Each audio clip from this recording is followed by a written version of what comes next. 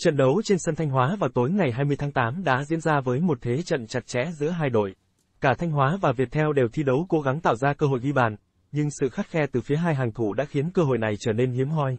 Thời gian cuối trận đấu càng thêm căng thẳng khi cả hai đội đều không dám mạo hiểm và chấp nhận chi điểm, chờ đến loạt luân lưu để xác định người chiến thắng. Tại loạt luân lưu, sự căng thẳng tiếp tục được thể hiện qua từng cú sút của các cầu thủ. Thanh Hóa là đội sút trước với lợi thế sân nhà. Paulo Conrado và Lê Thanh Bình đã thể hiện sự tinh tế và tập trung cao độ để đánh bại thủ môn Phạm Văn Phong của đội Viettel. Viettel không để lại cơ hội cho Thanh Hóa khi người mở đầu loạt sút là Nguyễn Hoàng Đức. Anh thực hiện cú sút đầu tiên một cách tự tin và thành công, mang đến dấu hiệu yên lặng cho cổ động viên Thanh Hóa. Tuy nhiên, đội trưởng Bùi Tiến Dũng của Viettel đã gặp khó khăn khi sút chúng xà ngang, tạo điều kiện thuận lợi cho Thanh Hóa.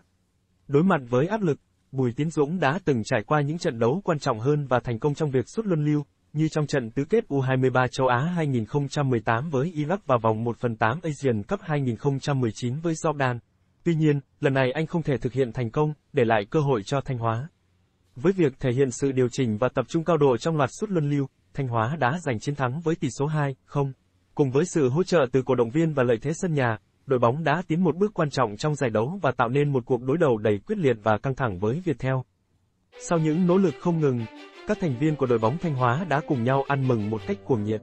Sự phấn khích và niềm hạnh phúc tràn đầy trên khuôn mặt của các cầu thủ khi họ chung vui với nhau. Không chỉ dừng lại ở đó, đội bóng còn tập trung nâng cao huấn luyện viên Beliza Popov lên bổng để chia sẻ niềm vui và chúc mừng.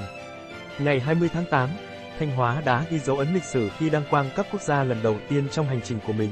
Đây là danh hiệu lớn thứ hai của Thanh Hóa trong vòng 13 năm, kể từ khi họ giành siêu cấp quốc gia vào năm 2009. Ông Bầu Cao Tiến Đoan, người đã tiếp quản đội bóng từ cuối năm 2020, cũng đã không kìm được niềm hạnh phúc và đã xuống sân để chia vui cùng đội bóng.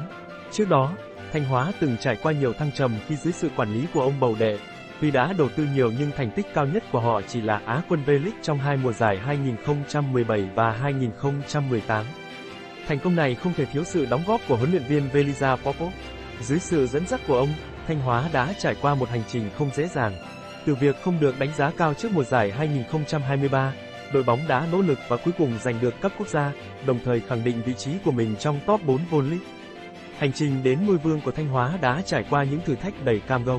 Họ liên tiếp vượt qua các đối thủ như Bà Rịa Vũng Tàu với tỷ số 4, không ở vòng 1 phần 8, Phù Đồng với tỷ số 1, không ở tứ kết, PVF Công an Nhân dân với tỷ số 4, 1 ở bán kết và cuối cùng là chiến thắng trước Viettel ở trận chung kết. Mặc dù đã hết khả năng cạnh tranh ngôi vô địch, Thanh Hóa vẫn có thể tác động đến cuộc đua trong ngày trận cuối cùng của họ gặp Công an Hà Nội vào ngày 27 tháng 8. Với việc Công an Hà Nội đang có 37 điểm, hơn 2 điểm so với Hà Nội FC đội sẽ đối đầu với Viettel ở vòng đấu tới, Thanh Hóa có thể gây ảnh hưởng tới cuộc đua vô địch.